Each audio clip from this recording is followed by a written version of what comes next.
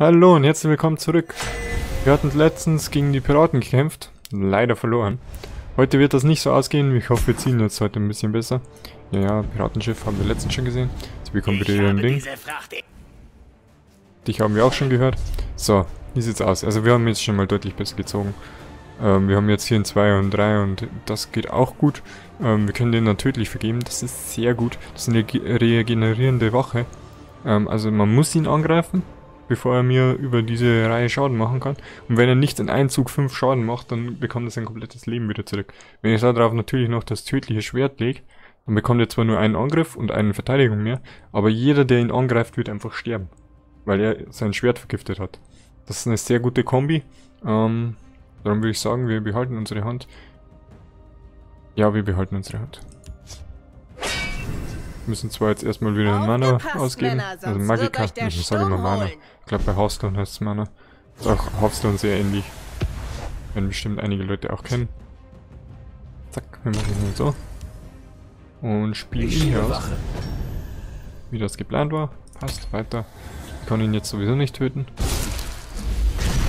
Er macht mir zwei Schaden mit dem, oder sie macht mir zwei Schaden. Ähm, okay, sie wandern nach links. Wir wandern nicht nach links, das ist natürlich ein bisschen blöd. Ähm, aber wir geben ihn tödlich. Perfekt. Und machen Angriff. Natürlich ist es ein bisschen blöd, dass die hin und her wandern. Das ist, aber das war das einzige Spiel, in dem ich das gemerkt habe. Also ich habe schon das Kampagne 3 durchgespielt.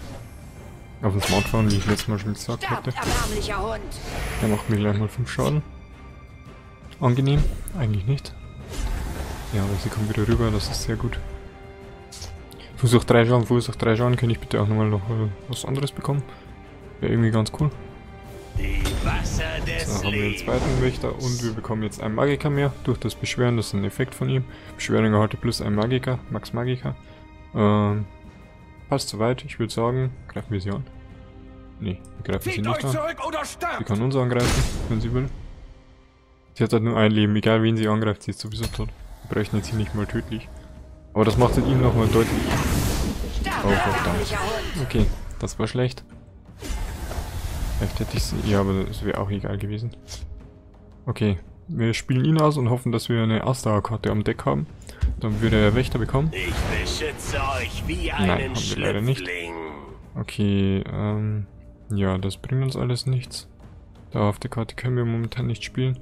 Würde ich sagen, machen wir noch einen Schaden. Zack, perfekt. Also es läuft schon deutlich besser als beim letzten Mal. Würde ich jetzt einfach mal so sagen. Zu Beginn seines Zuges bekommt er immer plus 2-0. Und bekommt einen Angriff mehr. Dann sollte man ihn relativ schnell töten. Ich meine, der hat ihn tödlich verdient. Wie oft habe ich denn die Karte im Deck? das geht's ja nicht. Okay, ähm, ähm, ähm, ähm, wie machen wir das jetzt?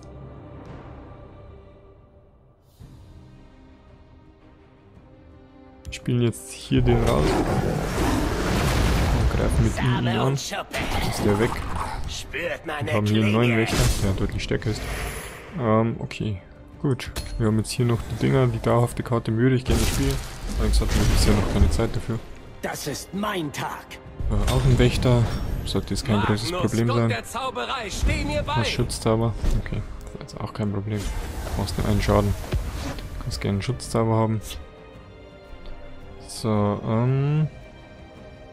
Jetzt haben wir Zeit zum Spielen. Es gibt jetzt dauerhaft, sind so dauerhafte Effekte, die sind Unterstützungskarten und der gibt jetzt eben allen Verbündeten plus eine Verteidigung. Dauerhaft. Solange bis er irgendeine Karte spielt, zum Beispiel, die meine Unterstützungskarten zerstört. So, wir könnten jetzt ihn angreifen mit dem hier. Wir haben es dreimal. Ich glaube, das machen wir tatsächlich. Hat der nur Schutzzauber oder hat er auch was anderes? Okay, seine Macht wird verdoppelt, wenn sein Schutzzauber gebrochen wird. Und dann hat er zwei Angriffe auf die Welt. Das war sehr dumm. Und nicht mitgedacht. Okay. Das war jetzt wirklich eine blöde Aktion. Ich dachte, ich könnte ihn damit töten, aber ja. Ich hätte vielleicht mal auf die Punkte schauen sollen. Dass ich in, in vier Verteidigungen nicht mit drei Schaden töten kann. Ja, das war ein bisschen blöd. Keine Prophezeiung leider. Aber was spielt ihr denn noch? Fügt zwei Schaden zu. Die sich wahrscheinlich selbst zu. Nicht. Okay, hat seinen Schutzzauber gebrochen. Hier, da habe ich jetzt auch einen, der Schutzzauber hat, aber der kriegt keine Verstärkung, wenn er gespielt wird. Ja, wir können jetzt sehr viele Karten spielen. Eure mal hier rein. Schritte verraten euch. Die packen wir hier dazu. Dem Kaiserreich Ruhm bringen. Und packen wir hier noch rein. wir haben jetzt gerade sehr viele Karten bekommen. Das ist sehr schön. Sie können ihn nicht töten, machen nur 5 Schaden. Ich habe 6 Leben. Ähm, er macht nur 3 Schaden. Hilft mir quasi nichts. Okay, dann schauen wir mal weiter. Jetzt sieht es deutlich besser aus als beim letzten Mal. Sind auch deutlich schneller. Wie oft er einfach dieselben Karten hat. Oh, ich ja im Endeffekt auch. Was hat der für einen Effekt? Ach, das war das mit Aktion und so. Gibt eine Kreatur Schutzzauber. Gibt eine Kreatur Schutzzauber. Okay. Was genau soll dir das jetzt bringen? Ich hoffe, ich kriege noch irgendeine Verstärkungskarte. Schwörung gibt einer Kreatur plus 2 plus 1. Das ist doch schön.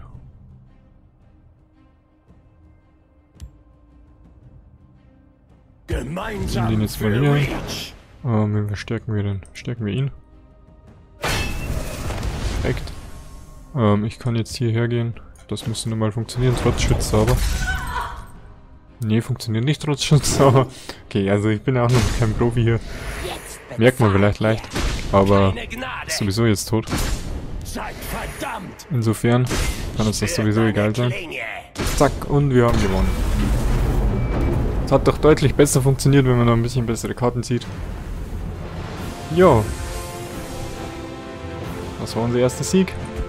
Beziehungsweise mein erster nicht, weil ich ja schon im Akt 2 bin. Weil Akt 1 schon durchgespielt. So, und jetzt bekommen wir hier eine Ausdauerkarte. Und hier so ein bisschen Geld. Im Normalfall, genau, 10 Gold. Und hier bekommen wir eine, sogar drei Ausdauerkarten. Das könnte Prophezeiung Wächter, der ist gut, den werde ich reinpacken. Ähm, den werde ich auch reinpacken.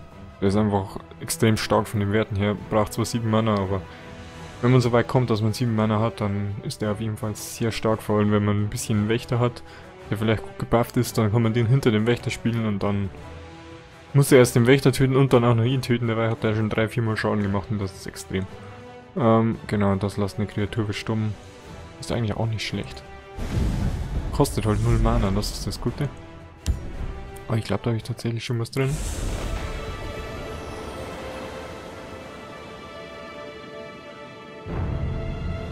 Kein Zeichen von Lanet. Glaubt ihr, sie sind alle im Wrack gestorben? Möglich. Oder durch die Einheimischen. So, unsere nächsten Gegner. Das waren tatsächlich Gegner, von denen ich, die ich gehasst habe. Werdet ihr gleich sehen, warum. Aber dort habe ich auch am Smartphone, wo ich ein besseres Deck hatte, gefühlt, ähm, ein paar Mal verloren. Genau, Unterdrückung haben wir schon einmal. Ähm, schauen wir jetzt mal einfach mal. Beim Seelenruf kannst du mit Seelensteinen eine neue Karte für deine Sammlung erschaffen. Seelenfalle zerstört eine Karte und gibt dir Seelensteine will gerade keine Karte zerstören. Ach, ich bin im falschen Deck. Ich denke mir gerade, hä, irgendwas, irgendwas stimmt hier nicht. Äh, fertig. Ich denke mir schon, hä, den habe ich da drin, was ist los? Hier, das Deck möchte ich bearbeiten. So, jetzt aber. Zack. Na, die könnten wir jetzt nochmal reinpacken. Die Drückung haben wir tatsächlich noch gar nicht. Eine Kreatur verstummen. Eine Besänftigung, minus 4, 2. Hm. Ich würde die mal rauspacken. Ähm, was haben wir noch bekommen? Was haben wir noch bekommen? Ich hab's vergessen. Ach, den Sumpfteufel und die Mumie wollte ich noch reinpacken. Wollten wir irgendwas rauspacken. Durchdringender Speer ist eigentlich ganz gut. Ähm, die andere, das war eine Dreierkarte. Wie heißt die? Wie heißt denn die nochmal? Was ist eine Dreierkarte hier? Packen wir mal zweimal raus. Natürlich nicht so oft bekommen, das ist ein bisschen nervig. Und wenn ja mit 3 Damage dann doch auch einen braucht, der nicht so viel Leben hat, ist natürlich gut, wenn einer hinterm Wächter ist, der nur schwach ist, aber viel Angriff hat zum Beispiel. Aber okay. Gibt es eine Sequenz? Achso, wir haben die Sequenz schon gesehen. So, wie sieht's aus? Eins, den packen wir auf alle Fälle weg. Den können wir jetzt am Anfang nicht brauchen. Und kommt die Karte wieder. die Karte verfolgt uns einfach. Okay, gibt eine Kreatur. Ähm, plus 0, plus... Ist das dein Ernst? Warum packe ich denn Karten weg, wenn ich die dann wieder bekomme? Ah. Ja, wir werden sie hier spielen. Eure Und wir können das eben auch auf sich selbst spielen. Hat sie jetzt drei Verteidigung. Und dann machen wir dann weiter. Greift direkt meine Lebenspunkte an. Nee, so heißt es bloß auf. Genau, und das ist eben das Problem an den ganzen Zweiglingen und so, dass die Entzug haben. Entzug heißt quasi, wenn er mich angreift, mir zwei Schaden macht, ähm, Ich dann... Wache. Also er macht mir zwei Schaden und er bekommt dafür zwei Lebenspunkte. Und das ist ein bisschen nervig, weil der sich immer wieder hochbufft. Das ist der absolute Wahnsinn. Und ja, das ist ein bisschen doof, aber es hilft leider nicht. Wir werden das schon schaffen. Wir haben ein starkes Deck, da bekommt er zwei Lebenspunkte. So, die schwächt meine Kreatur. Hat sich eigentlich für die Kreatur jetzt nicht wirklich. Äh, den Vorteil, dass es sich halt. Ähm, gehen Risiko. Spielen erstmal hier und diene. und machen diese Runde nichts mehr. Und nächstes Mal spielen wir den Wächter auf dieser Seite durch und wir leben. Was natürlich wieder sehr gut ist. Wir müssen ihn aber jetzt schon langsam töten. Okay. Wir müssen jetzt erstmal ihn töten.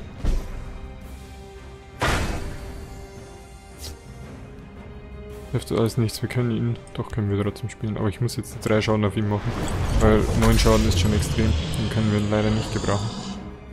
Und wir spielen unseren Wächter hier drüben aus. Problem ist, wenn ich jetzt hier angreife, dann ist er weg. Er bekommt aber seinen Entzug wieder. Hm, das ist jetzt eine blöde Situation. Mein Leben für euch. Hat er zwar nur er den Buff bekommen, aber zumindest ist seine komische Ding weg. Ja, jetzt bekommt er auch noch Entzug. Aber er ist tot.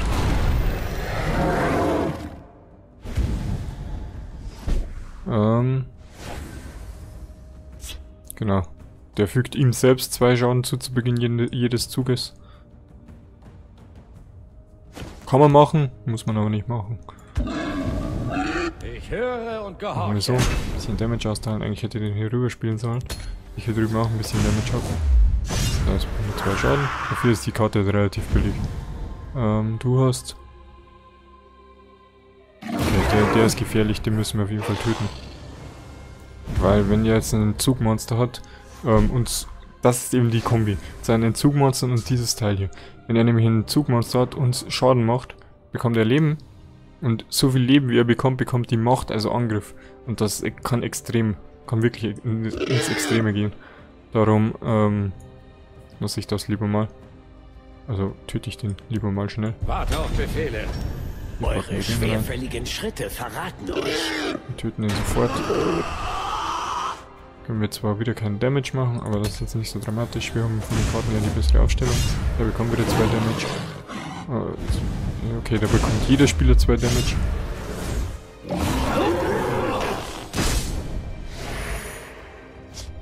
Okay, da bekommen die anderen in der Reihe plus eins Verteidigung.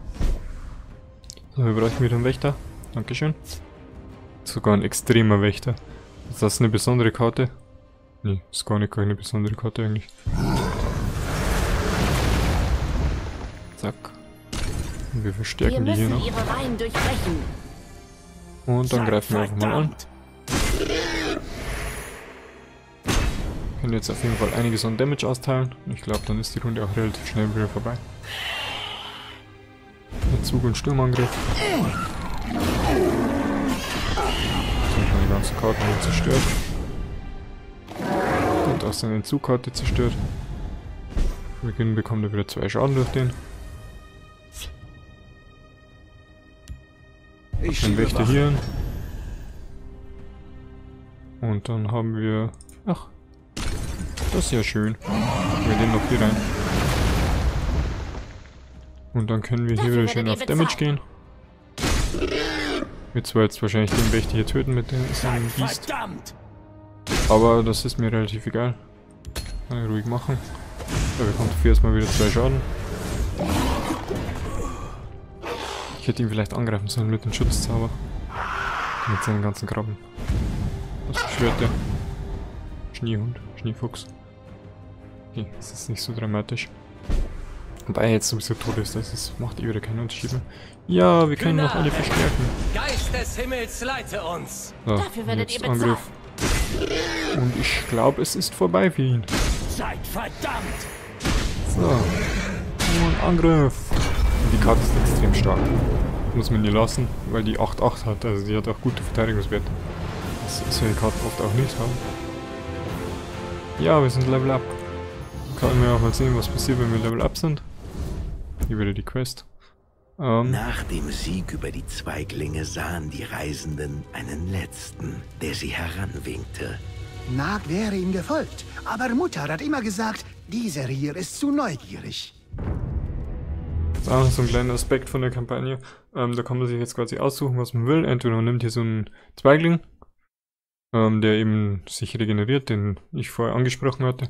Oder hier den Gegenstand. Kann man sich entscheiden. Ich nehme den Gegenstand, weil ich einfach mit denen nicht spiele. Mit diesen Karten. Also mit. weiß gar nicht, was sind denn das? Keine Ahnung, habe ich noch nie damit gespielt. Ähm, und Ausdauer spiele ich eben. Und plus 1, plus 3 und regenerieren ist halt sehr gut für Wächter oder so. Warum? Werden wir erstmal den packen. Passt. Dankeschön. Die. Abenteurer misstrauten dem Wesen und fanden einen Schatz, von dem es sie sicherlich hatte ablenken wollen. So, das war's dann mit dem. Bekommen jetzt noch unsere Stufenaufstiegsbelohnung. Und unsere Spielbelohnung. Das ist einiges jetzt. Also das ist jetzt auch so eine Karte, das sind also besondere Karten. Ähm, oder sind halt immer diese Karten äh, Geschicklichkeit. Jetzt sehe ich sie auch. Und ja, interessiert mich relativ wenig. Weil ich sie eben nicht benutze. Hier bekommen wir ein bisschen Geld. Wow, gleich 5 Gold. Neues Deck haben wir bekommen. Interessiert mich allerdings auch nicht, weil ich mit denen nicht spiele. Kaiserlicher Bonus, das ist gut. Stufenaufstieg erhältst du manchmal eine Bonuskarte. Welche Karte dies ist, hängt vom Volk deines Avatars ab.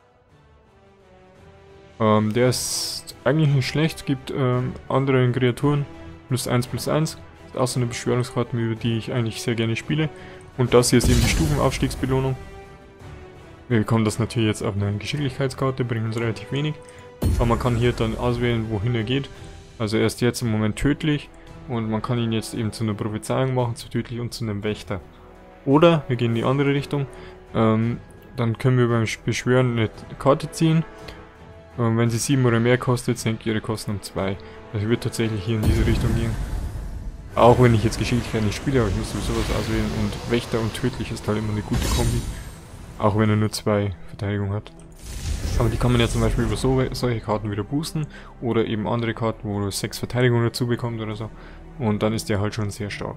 Wobei ich ihn sowieso nicht nutzen werde. Gut, das war's dann Die soweit. Kultisten hatten in einer das noch kurz an. Zuflucht gefunden, nur um deren neuen grausamen Bewohnern zum Opfer zu fallen. Lanet! Ich könnte hier Hilfe gebrauchen. In der nächsten Folge spielen wir hier weiter. Oder wir machen mal ein Online-Spiel, könnten wir eigentlich auch mal machen.